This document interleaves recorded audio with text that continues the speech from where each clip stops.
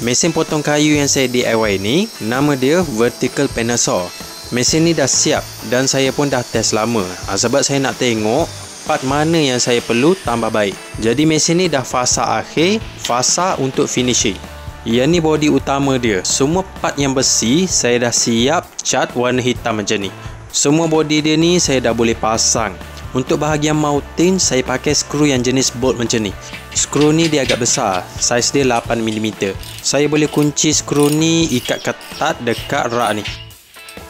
Yang ni palang bahagian bawah. Untuk pasang palang ni, saya kena pakai laser level macam ni. Laser ni saya letak dekat sini dan saya kena adjust bagi dia ngam ketinggian tu dengan palang ni. Bila dah ngam macam ni, baru mudah untuk saya adjust. Saya letak pembaris macam ni dan saya kena pastikan laser tu betul-betul dekat hujung pembaris tu. Saya sukat dekat 2-3 tempat palang ni. Yang ni mounting untuk mesin potong, mesin circular saw. Benda ni saya buat pakai kayu dan saya dah cat warna hitam macam ni.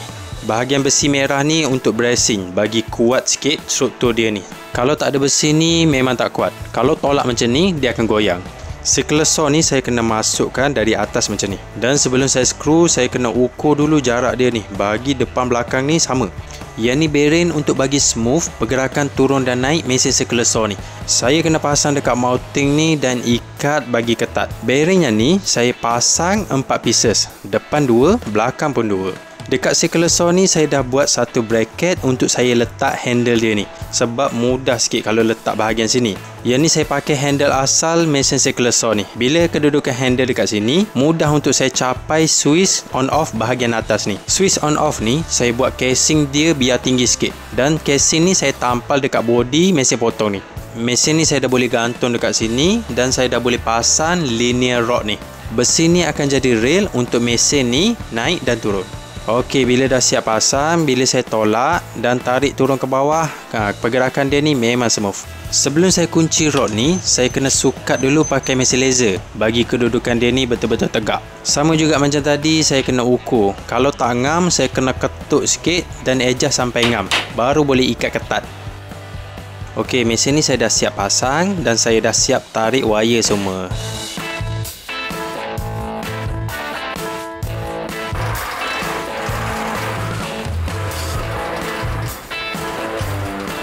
Okey, untuk switch dia ni, sebelum ni saya letak switch dekat sini. Kalau dekat sini, dia mudah untuk wiring sebab tak perlu tarik wire sampai macam ni semua. Tapi, bila saya nak potong duduk macam ni, potong benda-benda kecil, saya kena bangun dan tekan switch macam ni.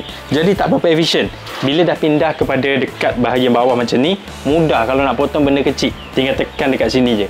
Yang ni kedudukan dia lebih efisien ha, sebab dia lekat dengan body macam ni. Saya nak potong macam-macam jenis saiz, mudah untuk capai. Dan switch dia ni saya wiring. Bila kita tekan satu switch ni, dia akan hidupkan dua-dua sekaligus. Circular saw dengan vacuum dekat bawah tu. Dua benda ni, kalau kawal dekat satu switch, akan jadi lebih mudah. Ha, nanti bila kita kalut nak potong kayu, tekan je satu switch ni, dua-dua akan hidup. Kalau switch asing, uh, leceh sikit. Dekat body circular saw ni, saya buat handle macam ni handle ni dekat dengan switch ni jadi mudah untuk capai. Kalau saya tekan switch hijau ni dia tak akan hidup. Sebab saya ada switch utama dekat situ. Saya kena hidupkan switch tu dulu baru boleh tekan yang ni sebagai langkah safety. Sebab switch hijau merah ni warna dia agak menyelah. Jadi dia akan menarik orang yang tak tahu untuk tekan benda ni. Ha, jadi kalau tak ada switch utama dekat sana bila tekan je dekat sini mesin akan jalan. Jadi agak bahaya. Switch utama ni saya sengaja letak tinggi dan susah capai macam ni. Bila saya pusing je switch dekat sini dah boleh tekan. Swiss yang ni dia jenis elektromagnet. Bila ada arus baru kita boleh tekan benda ni.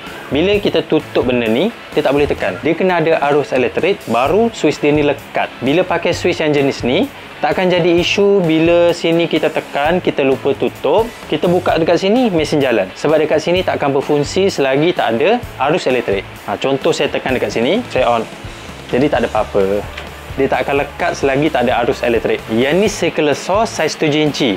Mesin ni jadi mesin utama untuk panel saw saya ni. Yang ni saya pakai circular saw daripada Dongchen saiz 7 inci. Mesin ni dia pakai wire jadi dia agak power. Bahagian handle dia ni depan ni saya dah tutup cover macam ni jadi tak ada resiko lagi dah tangan masuk ke dalam. Mesin circular saw potong kayu ni bahaya. Jadi kita tak boleh leka. Mesin ni kalau kena jari, putus. Mounting dia ni sebenarnya saya nak pakai aluminium. Tapi mesin CNC saya tu, bila potong aluminium, dia tak berapa cantik. Nanti bila saya dah repair mesin tu, saya akan ganti mounting ni kepada aluminium. Sebab aluminium ni dia lebih nipis dan lebih ringan. Ha, dan lebih kuat daripada yang ni. Mesin ni dia berat. Jadi untuk bagi naik turun dia ni ringan, smooth, saya ada pemberat dekat belakang. Pemberat ni saya guna simen. Saya buat dia punya casing petak macam ni guna pipe PVC dan saya isi simen dalam ni. Kena ada dua rail macam ni. Baru dia cantik naik turun. Berat simen sana, dia kena sama dengan berat circular saw ni. Cumanya dekat sana saya kurangkan sikit berat dia. Baru lebih ringan untuk saya tarik tolak macam ni. Kalau dua-dua sama berat, dia jadi macam berlawan. Bila kita nak tolak circular saw macam ni, agak berat. Bila dekat sana dah kurang, baru ringan sikit bahagian depan ni. Pemberat ni penting sebab kalau tak ada benda ni, memang sangat berat benda ni tak best untuk naik turun macam ni. Dan untuk kabel dia ni saya pakai dawai besi stainless steel ni. Yang ni 4mm saya ikat dekat body sini dan dekat atas ni dia punya roda bearing semua. Untuk bagi smooth dia punya pergerakan ni. Untuk gerakkan mounting dia ni saya ada dua besi rod stainless steel. Saiz dia 25mm Rod ni yang jenis solid. Dalam dia ni penuh. Dua besi ni memang sangat berat. Kalau saya nak pasang benda ni Saya kena angkat satu-satu. Yang ni bearing dia Saiz 25 juga. Dan dekat atas ni mounting. Panjang besi ni 180 cm Jadi saya pakai dua batang. Untuk projek panel saw saya ni Dua besi ni yang paling mahal. Ha, Yang ni saya beli dua batang Panjang dia 180 cm Harga dia 400 lebih. Tinggi yang ni saya buat ngam-ngam untuk saya potong Plywood lebar dia 4 kaki. Ha, Kalau nak potong plywood 8 kaki boleh. Kita kena panjangkan besi ni Cuma kos dia ni akan tinggi. Mungkin akan double harga rod yang saya beli ni ha, mungkin boleh cecah 800 ha, jadi yang ni dah cukup untuk kegunaan saya. Kalau nak buat tinggi boleh. Cuma modal kasar. Dan kalau kita nak buat tinggi boleh potong 8 kaki kita kena ambil kira juga benda ni. Ha, dia akan jadi lebih tinggi. Susah untuk capai bila nak potong. Ha, mungkin kalau kita nak buat macam tu boleh. Cumanya benda ni kita kena gerakkan pakai motor. Ha, jadi bila tinggi kita gerakkan pakai motor turun ke bawah ha, kalau tak nanti kena pakai tangga naik tolak macam ni. Ha, jadi tak berapa efisien kalau tengok kedudukan rod ni dia agak sengit sikit. Yang ni tinggi yang tu rendah. Sebab saya nak mounting dia ni compact sikit. Kalau saya tinggikan benda ni nanti saya kena lebarkan lagi dia punya tapak ni jadi tak berapa cantik. Saya nak biarkan benda mounting dia ni kecil yang paling boleh. Bila letak sengit macam ni baru tapak dia ni boleh rapat macam ni. Dan kedudukan dia ni lebih cantik. Saya dah cuba letak benda ni sama tinggi dengan sini. Tapi memang nampak buruk.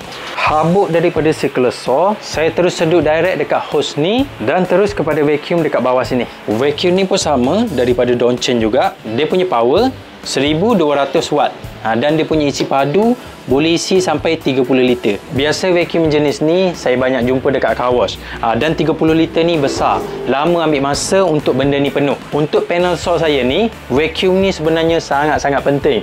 Kalau tak ada vacuum ni memang berhabuk habis sepah panel saw saya ni saya buat sebab saya nak bagi dia jimat space. Tegak macam ni sorong papan macam ni dia akan jadi jimat space. Tapi dia agak mencabar sebab saya gantung benda ni dekat rak kayu dan besi saya ni. Jadi untuk saya buat banyak perubahan Dia agak terbatas. Kena ambil kira rak ni juga. Contohnya untuk tinggi dia ni Saya tak boleh buat rendah Saya tak boleh buat lebih. Saya kena buat ngam-ngam Biar saya boleh kunci dekat sini. Dan untuk bahagian kaki ni pula Saya tak boleh letak tinggi lagi Ataupun rendah lagi. Ha, Sebab saya ada kayu Stok kayu dekat sini. Jadi projek ini sebenarnya sangat sakit kepala Sebab nak kena mesh dengan rak yang dah ada ni. Ha, Sebab kita nak compact nak jimat space jadi banyak benda yang terbatas. Yang lantai bahagian bawah tu tempat saya sorong kayu sorong plywood. Jadi dekat sini saya letak kayu. Sebab besi yang saya cat ni kalau saya terus sorong plywood cat tu akan tanggal. Jadi bila letak kayu ni dia takkan ganggu cat. Sebenarnya bahagian bawah ni mula-mula saya plan saya nak letak aluminium ataupun stainless steel tapi kos dia agak tinggi. Ha, bila saya fikir-fikir saya letak dulu kayu. Nanti bila dah ada modal saya gantikan dengan plate aluminium. Ha, baru dia lebih cantik. Kalau pakai kayu ni dia okey. Cuma dia tak berapa tahan panel saw ni saya buat khas untuk potong kayu-kayu macam ni. Plywood yang besar macam ni.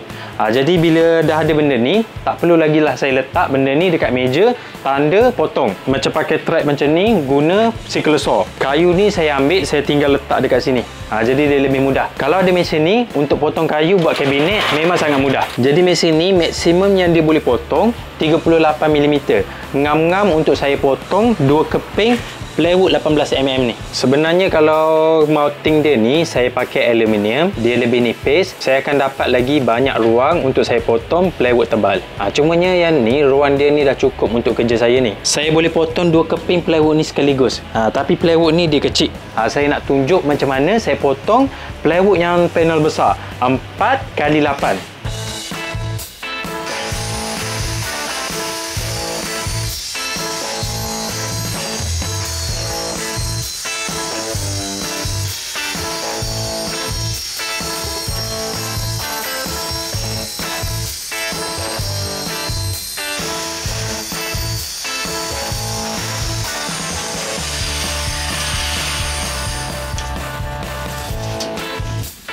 Saw saya ni saya dah siap buat fungsi yang basic dah. Dah boleh pakai dah. Cuma manual.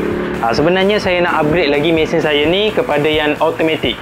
Ha, kalau sebelum ni saya nak potong kayu, saya kena tanda dulu kayu tu dan sorong baru boleh potong. Nanti saya nak tambah satu fungsi automatik. Palang tu saya nak gerakkan automatik pakai motor ni. Jadi yang ni controller untuk gerakkan dia punya palang tu kepada jarak yang kita nak. Bila dah siap benda ni memang sangat mudah sebab saya tak perlu tanda lagi dah. Saya tekan je jarak dekat sini, palang tu akan gerak kepada jarak yang saya nak. Cumanya controller saya ni tak berapa jadi lagi. Bila saya buat prototype, benda ni jadi. Bila saya dah pasang semua dah siap macam ni, tak hidup pula. Ha, tak tahu wire mana yang saya salah pasang. Nanti next saya akan buat video untuk controller yang ni. Ha, jadi itu saja untuk video kali ni. Moga video saya ni bermanfaat. Terima kasih kerana menonton. Assalamualaikum.